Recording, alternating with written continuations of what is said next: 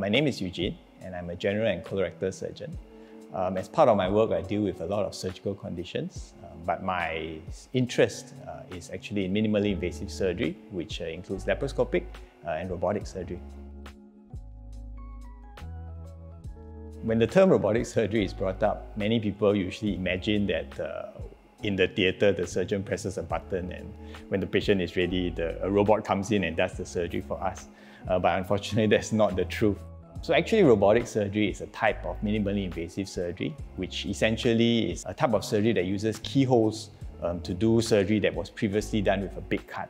For robotic surgery, um, we use a robot as an interface to do the manipulation and we control the robot um, while doing the surgery. So the accurate term should actually be robotic assisted surgery rather than robotic surgery per se.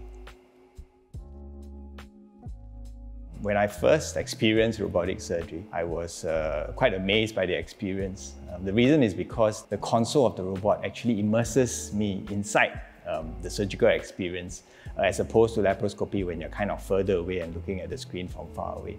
So it feels like um, I am within almost a smaller version of me within the patient and doing the surgery uh, with very free movement and very uh, adaptable and dexterous uh, movements. So it really makes the surgery so much easier and so much more pleasant and uh, also ergonomically a lot more comfortable than as compared to laparoscopic surgery.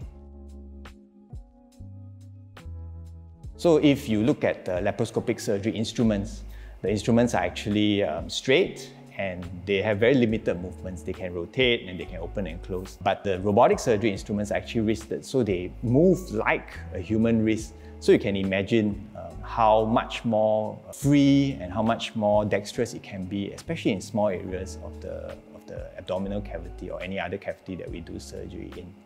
If I had to score a procedure, for example, on how well it's done, if you want me to compare robotics and laparoscopy, it's very likely that the robotic uh, platform will give me a better score on the procedure uh, as compared to the laparoscopic one.